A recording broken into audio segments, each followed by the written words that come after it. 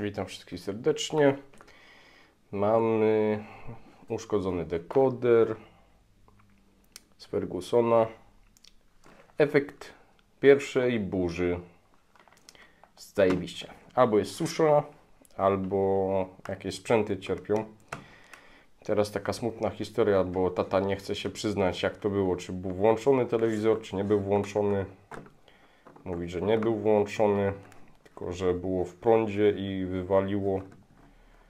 Więc nie wiem. Plomba jeszcze jest cała. Więc jak to się mówi, pierwsze otworzenie i zobaczymy jak to się co dzieje z tym. Tylko co? Idzie. Dobra.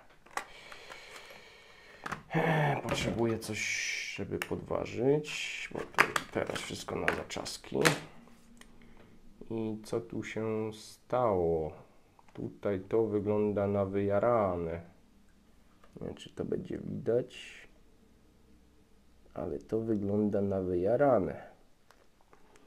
Czy coś tu jeszcze na pierwszy rzut oka widzę? No, wy na pewno widzicie. Nic nie widzę, żadnych zabezpieczeń tutaj nie ma. Może, że tutaj coś jest tym. Ale musimy to wszystko sprawdzić. Więc czeka mnie kopanie w tym. Może jeszcze sobie ściągniemy to od płyty.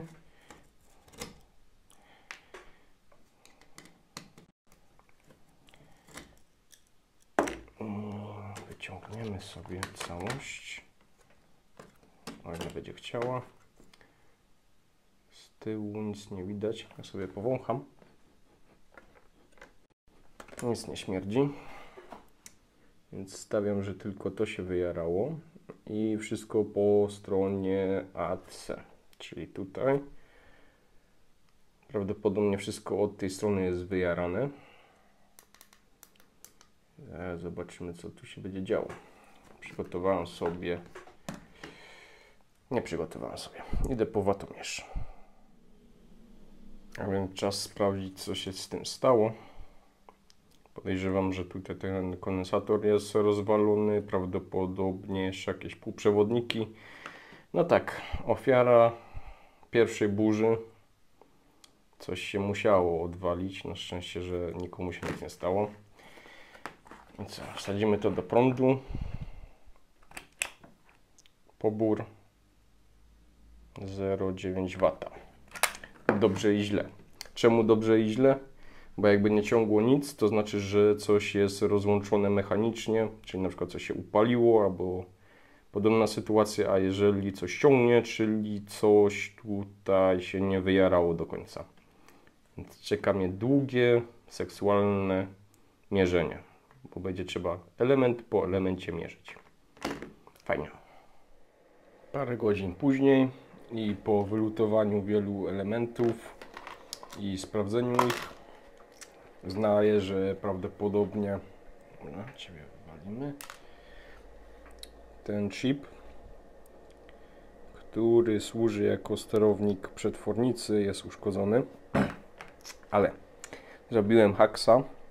Po prostu tutaj w kondensator się wlutowałem bo tutaj transformator ma tylko jedno wyjście. No i podałem typowe napięcie dla elektroniki chciałem od 3,3 V, nie stawało, no to dałem 5,4, 1 A. No i co, mamy brak sygnału, teoretycznie. Nie, niestety mi się nie podoba, że jest zielone, no ale przełącza. Normalnie naciskam na guziki i przełącza. Że jest zielony to może być ekran z powodu, że mam tutaj taką przejściówę, no ale teoretycznie, przepraszam, teoretycznie wstało. Teraz będę kombinował jak to zrobić, bo na pewno tego chipa nie będę miał. Wywalę resztę układu, żeby nie było jakiegoś wstecznego prądu i lecimy dalej. Prowizorka ciąg dalszy. Ładowarka z Samsunga 1 amperowa, bo tyle mniej więcej wystarczy. Wlutowałem się w pady nóżki pouwalałem, bo i tak po takim molestowaniu sprzętu już nie jest bezpieczny, więc to będzie wsadzone tak. Jeszcze to zabezpieczę taśmą. Zobaczę jak przy składaniu to będzie. Stawiam, że coś takiego. Nie wiem czy obudowę pójdzie zamknąć czy nie. Głównie mi chodzi o to, żeby te 230 było zabezpieczone. Najwyżej się to gdzieś tutaj wciśnie. Ewentualnie będzie na zewnątrz.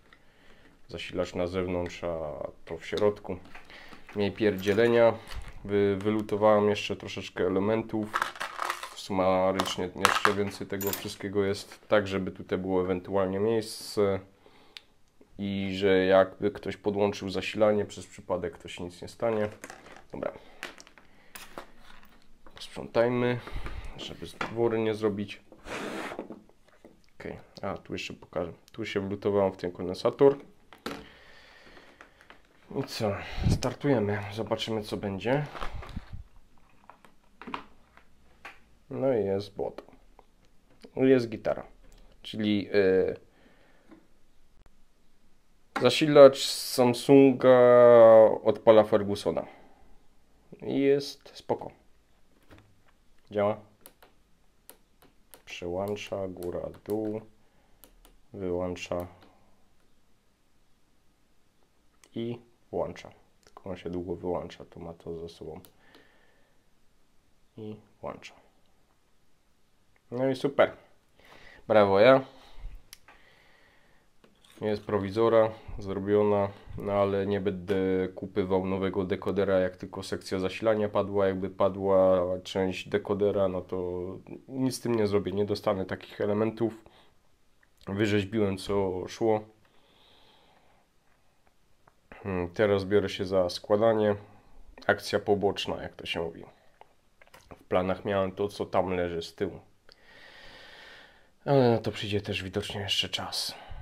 Chwila później, wszystko zmontowane, płyta już siedzi w obudowie, prowizorka, bezpiecznik przynajmniej zabezpiecza teraz kabel y, przed wypadnięciem, bo bezpiecznik się nie wyjarał. Oczywiście wolało się chip zjarać, którego nie mam. Nawet jakby to się zjarało, no to bym jeszcze zastąpić ten mostek Greca, ale tego już nie dorwę, trafa nie dorwę. Więc y, mamy zasilacz, jak to się mówi, poboczny. Tutaj mam mm, zrobione zabezpieczenie, że to mechanicznie jest jakoś zabezpieczone. Pi razy drzwi. Zamykamy prowizorycznie. Później sobie to skręcę na gotowo. Ok. Wsadzamy do prądu. Czy wybuchnie? Nie. Wstaje. Czyli tata sobie poogląda telewizor, a ja zaoszczędziłem ileś tam kasy. Proszę nie naśladować, tutaj jest bardzo dużo użytych skrótów technicznych, to nie jest w ogóle bezpieczne. Tutaj ta konstrukcja jest naprawdę fajna.